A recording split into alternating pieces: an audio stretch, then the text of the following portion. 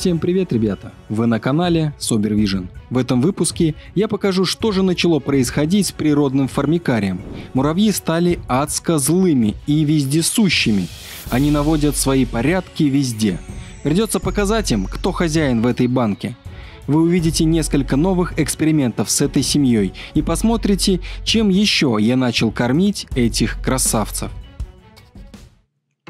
Итак, наконец у меня дошли руки, чтобы показать вам природный формикарий.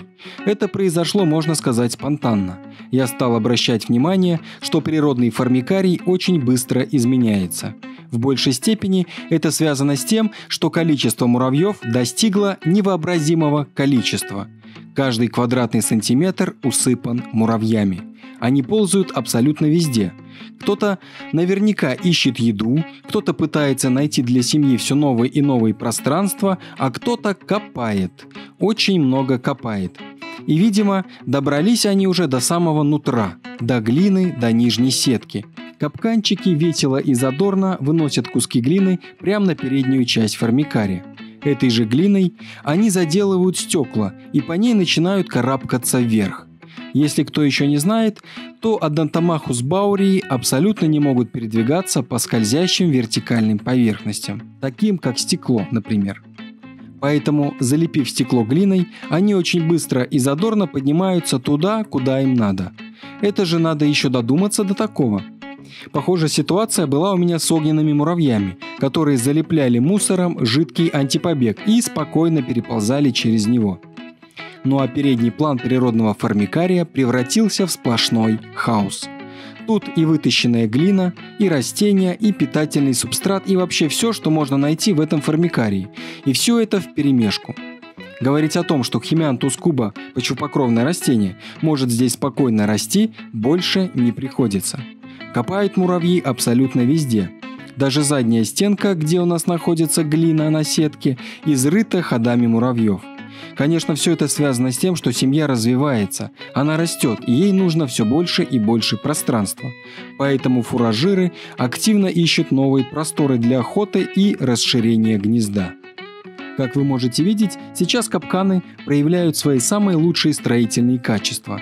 Формикарий весь изрыт, но все это имеет какую-то свою структуру ходов и входов – по крайней мере, очень четко видно несколько центральных кратеров, из которых постоянно вылезают и в которые вползают муравьи. В принципе, остальные растения пока не пострадали. Урон нанесен только по чупокровной траве. Все остальные растения более-менее чувствуют себя нормально и продолжают расти. Есть вопрос, конечно, к мху. Он, он немножко подсох, но в принципе растет нормально. Наши маленькие строители все активнее и активнее заклеивают стекла глиной. Это происходит прямо в геометрической прогрессии. Каждый день положение природного формикария все усугубляется и усугубляется. Кормить капканов становится просто невозможно. При малейшем открытии крышки самые активные разведчики устремляются наружу. Ничего не остается, как вступить в схватку с капканами. Придется показать им на этом этапе, кто хозяин этого формикария. Для борьбы с капканами я буду использовать ватную палочку, которую предварительно намочил. Теперь я аккуратно открываю крышку формика и сразу же начинаю водить ватной палочкой, пытаясь убрать глину с заднего стекла. Параллельно я сбиваю тех капканов, которые пытаются вылезти. Попытка прошла более-менее успешно. Я смыл основные глиняные комки и теперь подключаю опрыскиватель, открываю верхнюю крышку и начинаю активно поливать заднюю стенку. Вы можете посмотреть, что у меня получилось. Основная часть глины смыта, Муравьям уже не так просто подняться по вертикальному стеклу, их лапки скользят, они скатываются. Поэтому основной совет всем, кто хочет сделать подобный природный формикарий именно с этими муравьями или с теми, которые не могут лазить по вертикальным поверхностям, это оставляйте побольше расстояния между грунтом и верхней крышкой формика, чтобы вы могли спокойно ее открывать и муравьи не выползали в это время из баночки. После того, как я смог открыть крышку, я сразу же режу альтернатеру. Потом это будет сделать намного сложнее. Пока есть возможность, надо ей воспользоваться. Убираю основные ростки, которые уже прилично подросли. У муравьев начинается моментальная паника. Они активно носятся и пытаются помешать мне заниматься стрижкой. В это время надо не забывать смотреть на боковые швы, ведь мой природный формикарий сделан в аквариуме Акваэль. В этом аквариуме силиконовые швы изготовлены с выступами, по которым могут подняться муравьи. А теперь я хочу вам показать нечто интересное. После того, как я опрыскиваю природный формикарий, муравьи моментально мобилизуются. Они начинают издавать очень интересные звуки. Я попробовал записать их. Послушайте.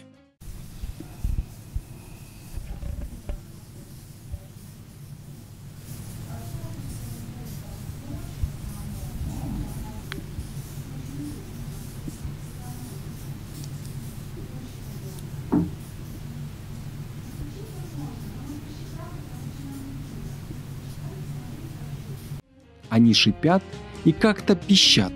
В общем, звук очень интересный и даже чем-то заманчивый и страшный. Наверное, так они отпугивают непрошенных гостей.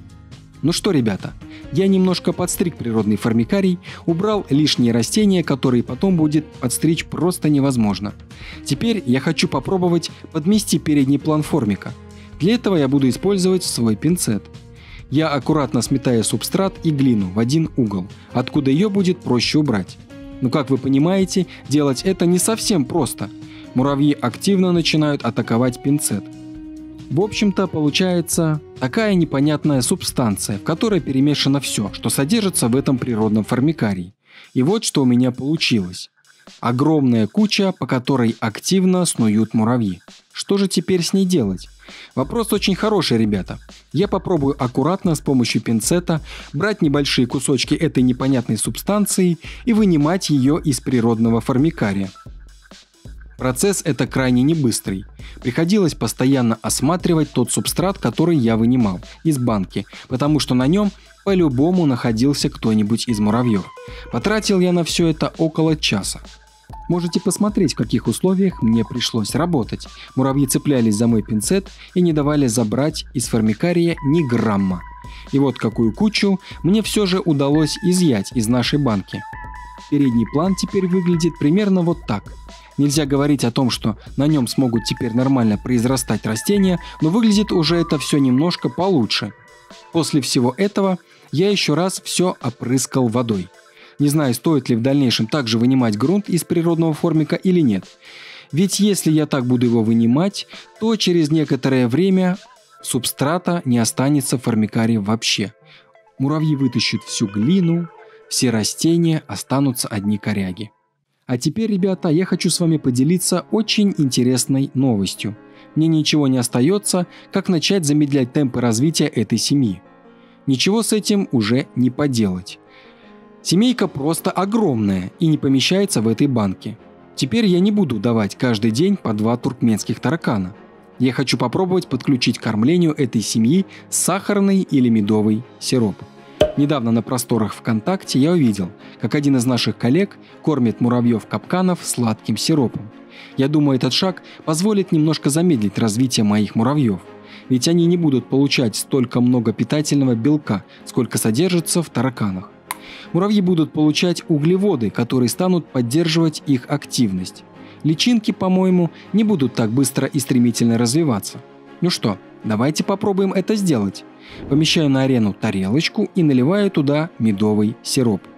Тарелка воспринята не очень дружелюбно, но посмотрите, ребята. Муравьи подкрадываются к ней и начинают пить медовый сироп.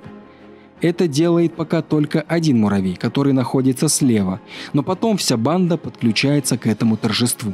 Муравьям явно нравится медовый сироп. Они с удовольствием им лакомятся. Это первый сладкий сироп, который я даю этой семье. До этого ничего подобного они не ели. Наблюдать за тем, как муравьи пьют сироп, можно часами. Полюбуйтесь.